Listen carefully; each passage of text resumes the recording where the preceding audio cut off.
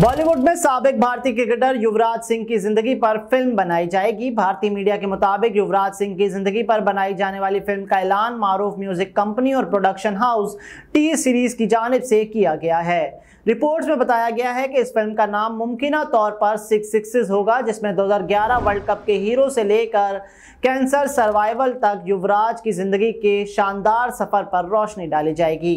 T Series की जानब से एक्स पर की गई ट्वीट में कहा गया है कि लेजेंड युवराज के क्रिकेट के पिच से लाखों लोगों के दिल तक सफ़र को दोबारा ज़िंदा करेंगे। इस क्रिकेटर की हिम्मत की शानदार कहानी जल्द ही बड़ी स्क्रीन पर आएगी।